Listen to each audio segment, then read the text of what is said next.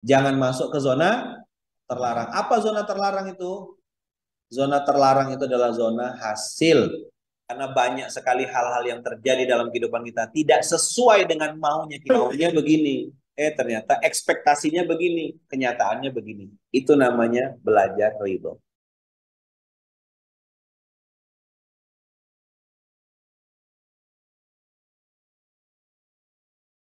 Ada tiga hidup. Apa yang pertama? Hidup. Ada level kedua, namanya kehidupan. Apa isinya? IRS. Apa? Isinya itu IRS. Ikhlas.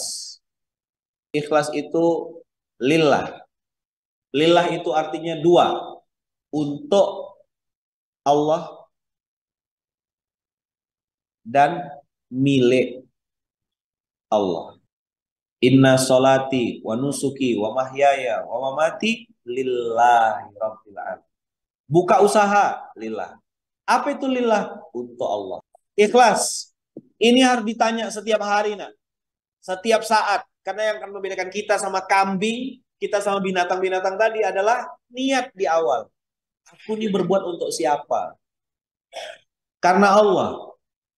Ikhlas itu akan menentukan kita berjalan seberapa jauh, akan bertahan berapa lama.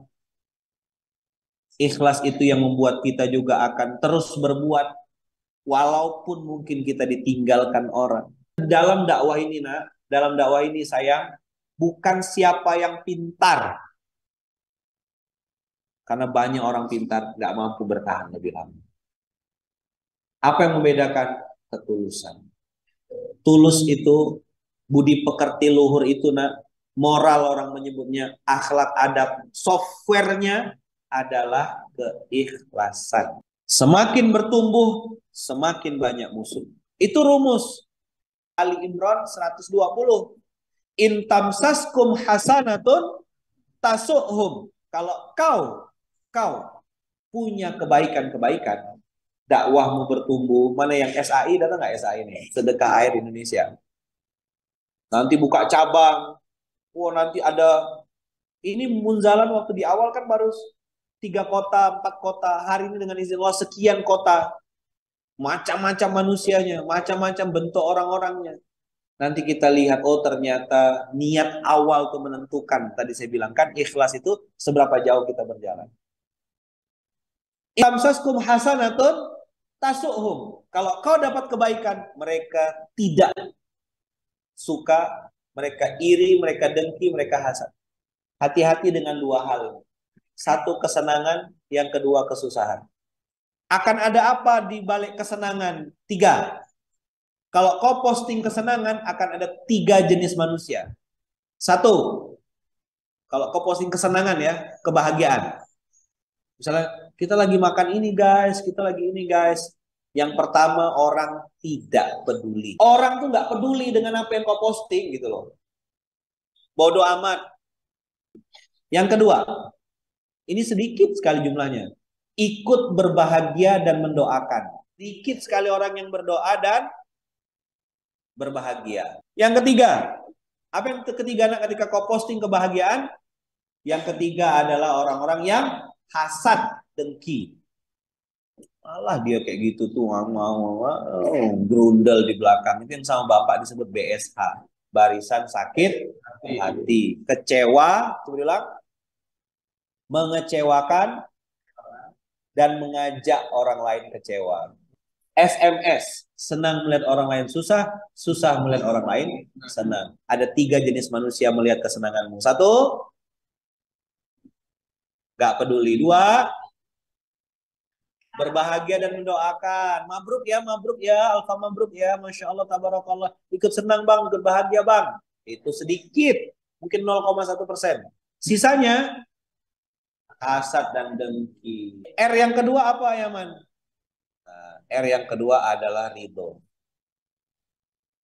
Ridho ini apa nak?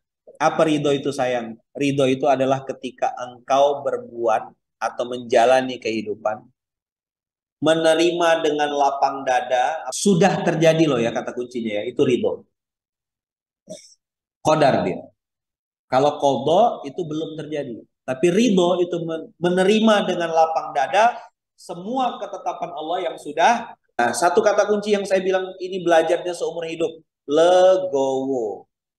Dunia ini lucu nak. Dunia ini lucu sayang. Jadi nggak usah ngoyo gitu. Oh ya udah saya sudah lakukan yang terbaik hasilnya begini Jangan masuk ke zona terlarang. Apa zona terlarang itu? Zona terlarang itu adalah zona hasil. Karena banyak sekali hal-hal yang terjadi dalam kehidupan kita tidak sesuai dengan maunya kita. Ketika kenyataan tidak sesuai keinginan. Coba ulang. Maunya begini. Eh ternyata ekspektasinya begini. Kenyataannya begini. Itu namanya belajar ridho. IRS S ini adalah sabar. Sabar bahasa lainnya adalah menahan. Punya kesempatan untuk istirahat, makan, mana, ngandang. Tapi memilih untuk berjuang. Nah, itu namanya sabar. Antum benar. Tidak ada tanda-tanda antum salah. Tapi antum memilih untuk mengalah. Dan memaafkan. Uh, itu pejuang. Kata bapak dulu kalimatnya gini jangan dibalas beda kelas. Maka kalau engkau diomongin orang dari belakang, itu artinya kau sudah jauh di depan mereka.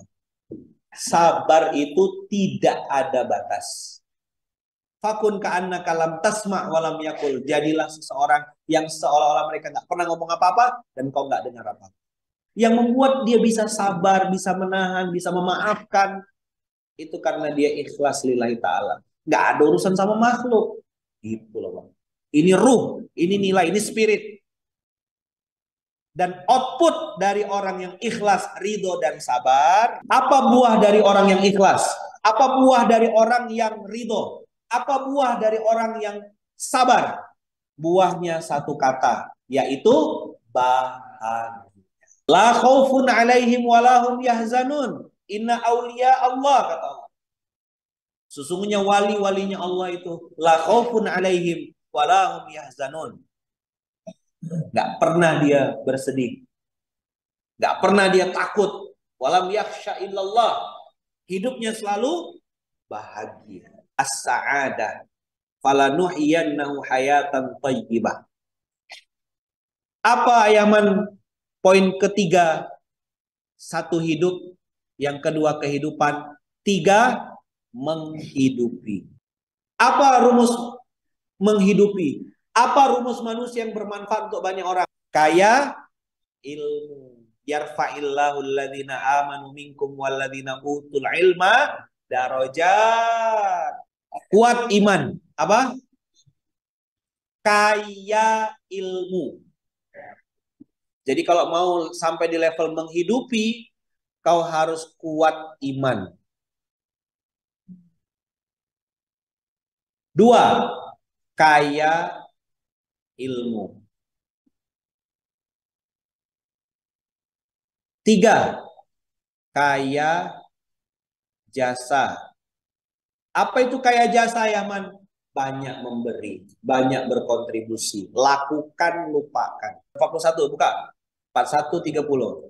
Fussilat. Innal ladhina qalu Rabbunallahu thumma Orang-orang kalau sudah Rabbun Allah, Tummastaqamu, Tuhannya Allah dan dia istiqomah, konsisten terus-menerus.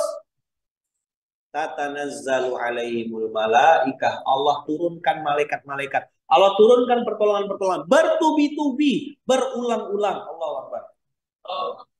Kenapa Allah turunkan pertolongan? Karena Rabbun Allah. Tummastaqamu. Dia jalan lurus, jalan terus. Allah takhofu wala tahzanu. Jangan takut dan jangan bersedih. Ini dua kalimat penting dari malaikat kepada orang yang istiqomah. Kata Allah, di antara sekian banyak makhluk di muka bumi ini, ada manusia-manusia terbaik pilihanku kata Allah. Siapa? Waman ahsanu qawlan. Ahsan. Allah tidak pakai istilah ahtiar. Di mana ustaz-ustaz yang kontrol? Allah tidak menggunakan istilah ah. Yang khair kan artinya juga baik kan. Tapi kalau menggunakan kata-kata ahsan. Dari kata-kata ihsan. Iman, Islam, ihsan. Levelnya level tinggi. Siapa yang ahsanul qaul? Siapa? Waman ahsanu qawlan mimman da'a Jadikan kameramu sebagai pintu surgamu. Jadikan filmmu sebagai pintu surgamu. Maka siapa pun kita adalah pendakwah. Dakwah siapa ya man? Dakwah apa ya man? Dakwah ilallah.